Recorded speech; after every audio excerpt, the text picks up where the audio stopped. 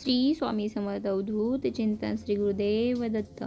तर भक्त हो मी तुम्हाला आता जो प पितृपक्ष दोन हजार बावीस आता चालू होणार आहे. त्यामध्ये जे चुकूनही तुम्ही ही दहा कामं मी तुम्हाला सांगत आहे ती करायची नाहीत. तर आपण व्हिडिओला सुरुवात करू. पण व्हिडिओला सुरुवात करण्याआधी तुम्ही चॅनलला सबस्क्राईब केलं नसेल तर सबस्क्राईब बटन दाबा आणि बेल आयकॉनही दाबा जेणेकरून तुम्हाला प्रत्येक व्हिडिओची नोटिफिकेशन मिळत जाईल. आणि कोणताही व्हिडिओ तुमच्याकडून मिस होणार नाही तर व्हिडिओला सुरुवात करूया. या दरम्यान म्हणजेच त्या पंधरवाड्यात पंधरा दिवसांचा पितृपक्ष असतो.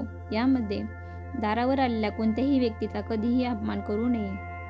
इतर कोणत्याही रूपात दारावर येऊ शकतात म्हणून प्रत्येक जीवाचा आदर करावा. दुसरं का दुसरं आहे या दरम्यान कोणत्याही पशुपक्ष्यांचा परेशानी करू नये आणि त्यांना जखमीही करू नये. विशेष म्हणजे गायीचा अपमान तर करूच नये. पशुपक्ष्यांना अन्न व पाणी द्यावे. तिसरं आहे ब्रह्मचार्याचे पालन करावे. तसेच आहारात मांसाहार टाळावा व दारूचे सेवनही करू नये. पुढे आहे या दरम्यान शिळं अन्न खायचं नाही. म्हणजे जेव पहिल्या दिवसापासून ते पंधराव्या शेवटच्या दिवसापर्यंत कधीही शिळं अन्न खाऊ नये. या व्यतिरिक्त चणे मसूर साग सातू जिरं मुळी काळं मीठ काकडी आणि दुधी भोपळा हे सुद्धा खाणं टाळावं. या दरम्यान श्राद्ध श्राद्ध स्वतःच्या घरात किंवा गया प्रयाग बद्रीनाथ आणि किंवा इतर स्थळी श्राद्ध करू शकतात परंतु दुसऱ्यांच्या घरी श्राद्ध करणे योग्य नाही. या दरम्यान झाडं कापू नयेत. यानं पित्र नाराज होतात. आणि ते होऊही शकतात. आणि पुढचं काम आहे ते करू नये ते म्हणजे. तुम्ही श्राद्धाचा प्रसाद घेतल्यावर या दिवशी घरात दुसऱ्यांदा भोजन कधीही घ्यायचं नाही. भोजन निषिद्ध आहे.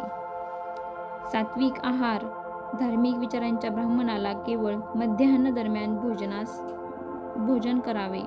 आणि या दरम्यान नवीन वस्त्र क परिधान करू नयेत. आणि नवीन वस्तूची किंवा वस्त्रांचीही खरेदी करू नये. पुढं आहे कधीही कोणाशी खोटे बोलू नये. अनैतिक काम करा करणे. कोणास कोणासाठीही वाईट विचार मनात ठेवणे चुकीचे ठरेल. तर भक्त हो अशा प्रकारे या पितृपक्षामध्ये जी दहा कामं करायची नव्हती त्यांची तुम्हाला मी व्यवस्थित लिस्ट सांगितली आहे. तरी तुम्ही तुम्हाला शक्य होईल तेवढे जास्तीत जास्त पाळायचा प्रयत्न करा.